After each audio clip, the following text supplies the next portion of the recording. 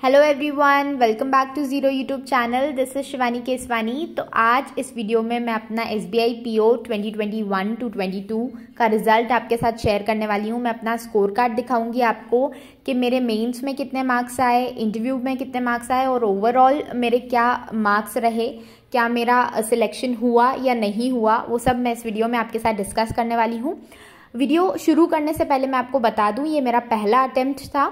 तो आओ अब स्टार्ट करते हैं। सबसे पहले यहाँ पे आप मेरा नाम देख सक देख सकते हो शिवानी केसवानी। जनरल कैटेगरी है मेरी। और यहाँ पे आप मेरा रोल नंबर और रजिस्ट्रेशन नंबर देख सकते हो।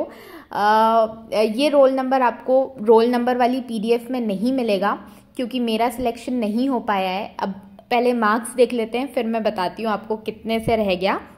यहाँ पे अगर आप मेरा मेंस एग्जामिनेशन का स्कोर देखोगे तो 124.10 रहा।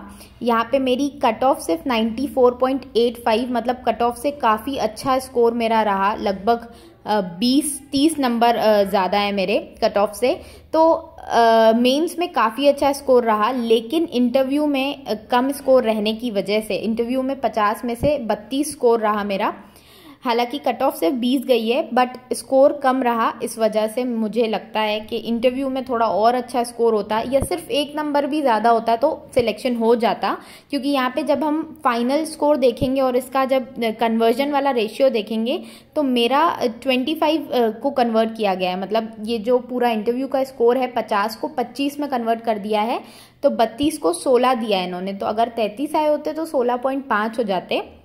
तो यहाँ पे मेरा स्कोर 53.23 बना ओवरऑल और जनरल की कट ऑफ़ 53.40 रही मतलब 0.17 से मेरा स्कोर कम रहा और इस वजह से यहाँ पे लिखा है sorry you are not selected हालाँकि मेरा जो वेटिंग लिस्ट जब आउट होगी फ़र्स्ट वेटिंग लिस्ट में ही हो जाएगा मोस्ट प्रोबेबली लेकिन जब ऑब्वियसली इसमें नहीं निकला तो बहुत बुरा लगा थोड़ा सा झटका तो लगता ही है। हालाँकि पहला अटेम्प्ट रहा मेरा तो बहुत कुछ मैंने सीखा भी इस जो मेरी जर्नी रही है S B I P O की पूरी प्रिपरेशन की, उसमें मैंने बहुत कुछ सीखा और अगली बार किस तरीके से मुझे प्रिपेयर करना है वो भी मुझे पता है।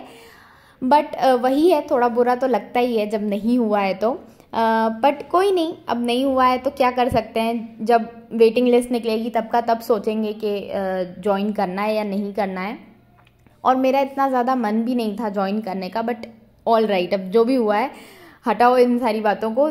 Uh, मैं हमेशा यही सोचती हूँ कि जो होता है अच्छे के लिए होता है तो इसमें भी ज़रूर कुछ ना कुछ अच्छा होगा हुआ रहा होगा। और आज से छः महीने सात महीने बाद um, क्या होने वाला है उसके बाद ही मैं डिसाइड कर पाऊँगी कि ये जो हुआ वो अच्छे के लिए हुआ या नहीं हुआ। और डेफिनेटली मुझे लगता है कि हाँ इससे मैं बहुत कुछ सीखूँगी और बहुत कुछ अप्लाई कर पाऊँगी आगे की प्रेपरेशन में।